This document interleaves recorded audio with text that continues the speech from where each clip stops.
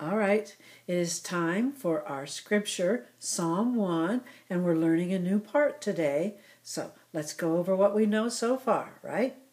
Blessed is the man that walks not in the counsel of the ungodly, nor stands in the way of sinners, nor sits in the seat of the scornful, but his delight is in the law of the Lord.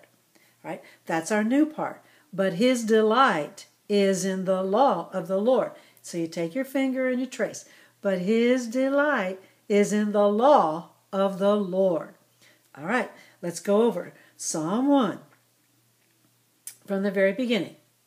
Blessed is the man that walks not in the counsel of the ungodly, nor stands in the way of sinners, nor sits in the seat of the scornful but his delight is in the law of the Lord. Okay? Just trace his mouth. But his delight is in the law of the Lord. Blessed is the man that walks not in the counsel of the ungodly, nor stands in the way of sinners, nor sits in the seat of the scornful, but his delight is in the law of the Lord. Great job. Pat yourself on the back. You guys are fantastic.